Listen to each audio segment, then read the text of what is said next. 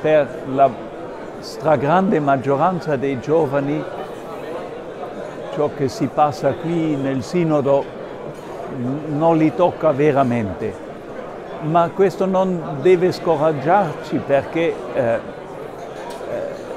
noi abbiamo da imparare con uno sguardo attento su, sui cambiamenti del mondo dei giovani. Quando lo vedo in Austria, anzitutto è l'insecurità del futuro.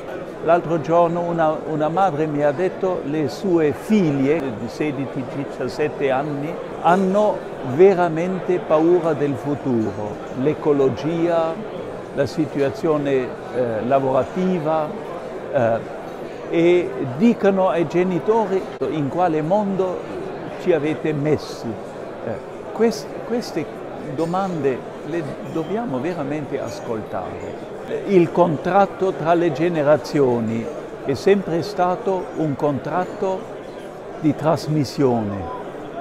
Eh, adesso c'è il pericolo che quelli che hanno la posizione sicura, un, un, lavoro sicuro, una pensione sicura, si chiudano e i giovani, quando vedo quanti, quanti giovani vivono eh, in, in, lavori precari, eh, mi immagino che non pochi di loro avranno anche reazioni di rabbia.